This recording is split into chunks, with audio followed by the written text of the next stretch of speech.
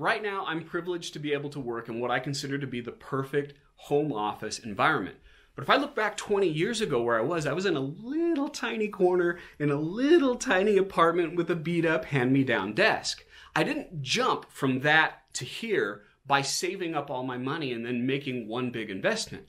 Instead, what I did was I recognized that a 2% increase in productivity equals an entire work week of productivity every single year. So I made small investments over time. And anyone, no matter what situation you're in, can make little investments of time and maybe a little bit of money to improve the quality of your workspace so you can get a work week every single year. You do that by becoming a productivity environmentalist. That means you assess your workspace in terms of the five senses. So let's break that down. First of all, sight. Take a moment and look at what you're seeing. What's the quality of your monitor? Are you being distracted by things outside the window?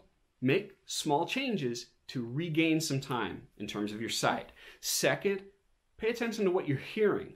What are the sounds? If you're being distracted by noise, perhaps you put on some headphones. I've, I've seen people successful by just putting up a fan, a cheap fan in their office. Third, touch. How does your chair feel? How does your keyboard feel? How ergonomic is everything? Make little investments there and they will really add up. Fourth, this one's a fun one because it's kind of weird, but smell. Are you smelling some phantom smells that are distracting you? Do whatever you need to do to make changes so those go away. And fifth, taste. This is really important to have snacks that are healthy and give you energy. Have water close at hand so you can stay hydrated.